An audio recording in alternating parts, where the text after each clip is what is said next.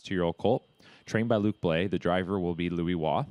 Six, the Can Am Banker, two year old gelded son of the bank, trained by Victor Puddy. The driver, Trevor Henry. Seven is Eustachio, a three year old colt by Wheelin' and Dealin', trained and driven by Matt Dupuis. And number eight is Ultra Lady. This is a four year old mare by Love You, trained and driven by Dagfinn Henriksen. Bit of a hazy morning here in Campbellville. Our temperature continuing to climb up already over 20 degrees. So we're set to go for our first of six here this morning.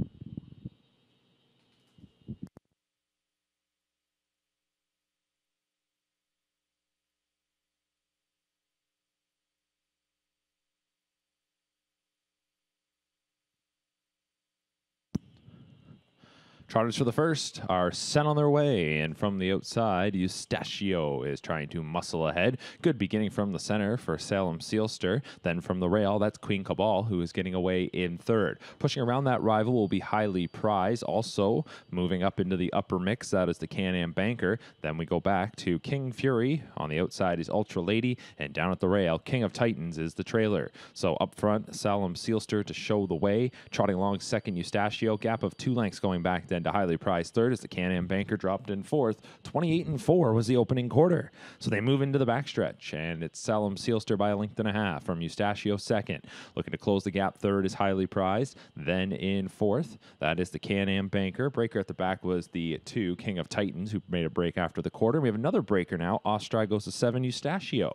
So everybody else looks to advance now. Salem Sealster, second is highly prized. Third is the Can-Am Banker. Trotting fourth is Queen Cabal. Then back in fifth, that is King Fury, who is followed by Ultra Lady. And as mentioned, our breakers are last. That's Eustachio and King of Titans. The half was a minute flat, so they backed it down a bit there after a 28 and 4 opener. That was 31 and 1 in the second split. And it is Salem Sealster, the muscle mass colt, still leading it here. Has a few lengths on his stablemate, highly prized, who's back in second. Third is the Can Am Banker. Racing in fourth is Queen Cabal. Two lengths back then to King Fury, fifth, who is followed by Ultra Lady, six. And last, that is Eustachio and King of Titans. Three quarters hit in 130 and three off the turn and into the stretch. And Salem Sealster will try to close it out now.